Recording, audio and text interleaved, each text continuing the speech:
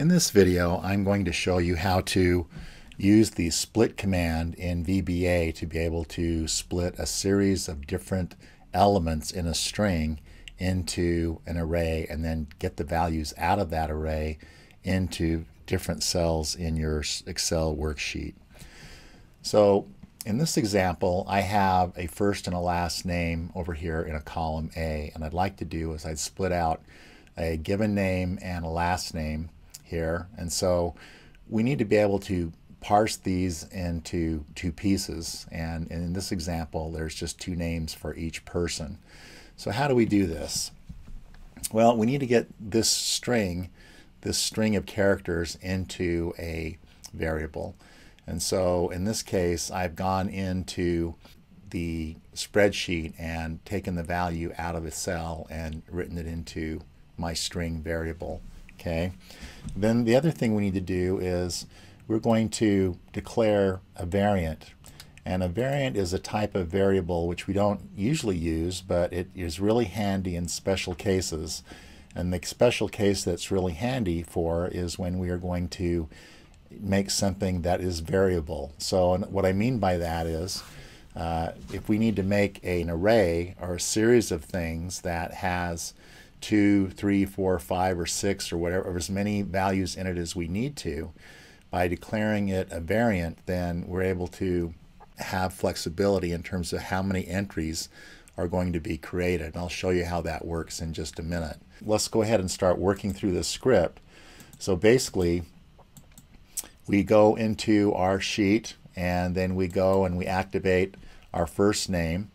We set the row so that we can write things out to other columns in this row. And then we begin a loop that starts working on each row at a time. We read the string in.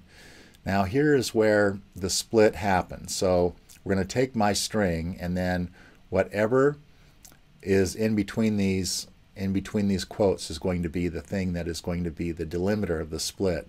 Since we have since we have spaces over here, then that will be used to be able to split my string into a series of values in an array.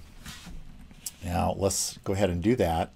So when I execute uh, the, this command to do the split, then what happens is it made a array down here, and in the array we have in the first element of the array, which is position zero, we have the first name, and in this in the position one, which is uh, array index one, we have Hannah.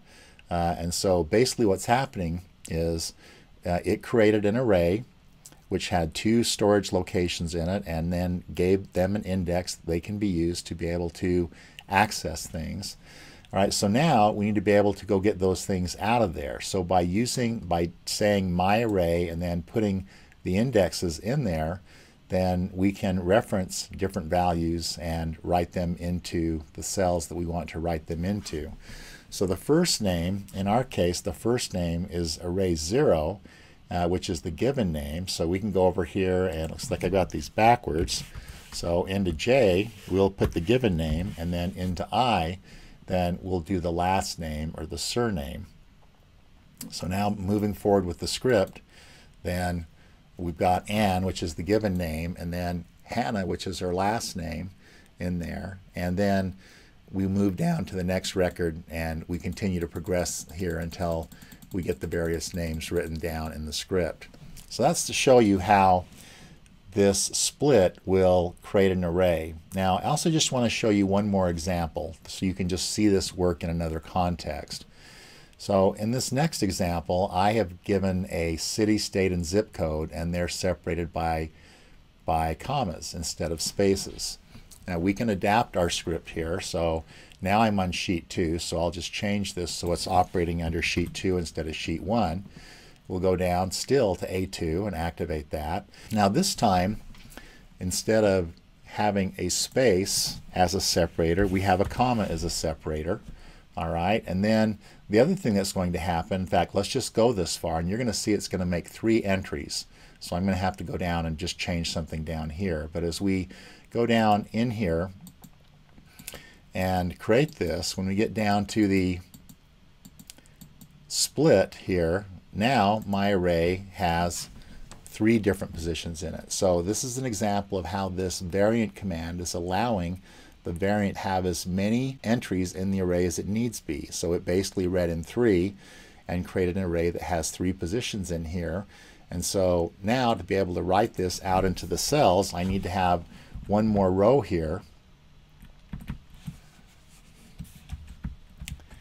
And so, and let's change these now. So the we're going to have city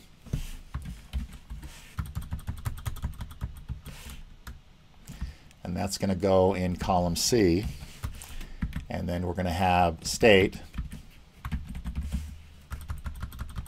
in column D. And then we're going to have zip that's going to go in column E. And we need to change this over here so our index will be right. All right, so now we should be able to run the script and have it create the arrays and write those values out to the various columns. So that's how you use arrays and the split command.